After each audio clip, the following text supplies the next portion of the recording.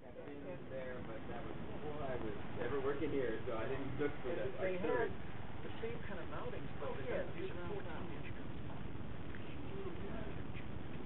Fourteen inch on, on this thing, Yes. that was about as big as I That might be believe, was what- as big You haven't taken the time, uh, I haven't taken the time to look up and find out even who had those.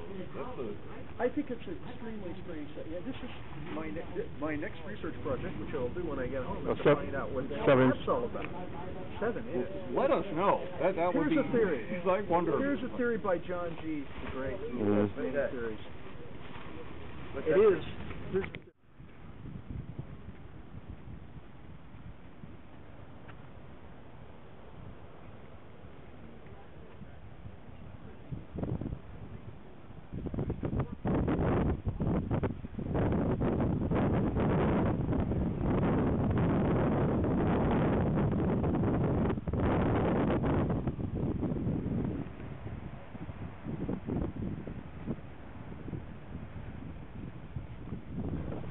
There's a lot of taller.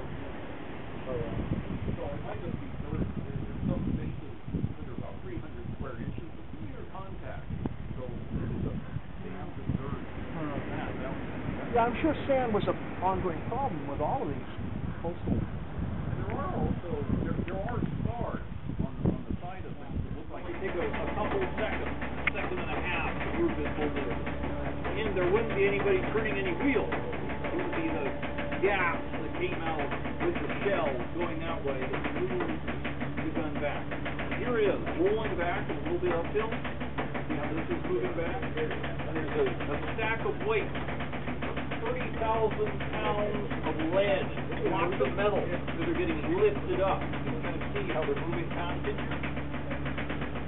So now, you, I you read what it it said on the front of the muzzle, twenty thousand eight hundred forty-five pounds.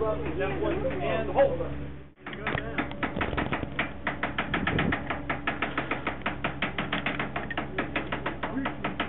And hold. Who's next? Okay, let's, let's bring our person here. I'll, I'll do some of this. Ready? Heave.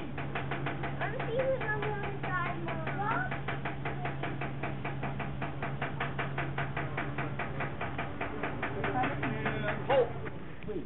No kidding. Go through this- that long tunnel. So Yeah, just, yeah. just for fun? You, I mean, yeah, you, we go I there mean, and play. as kids, you, I'd yeah, that's great. Catch lizards. Yeah, yeah, yeah. Sure. That, I mean, you must, things to do. you must have Yeah. known that, that, uh, you know, you got your own park and And these uh, hatches on the side um, have access ladders underneath. So that's how you do any servicing that's climb down. Boy, you got a small And it's slippery in there. It's greasy mud. So.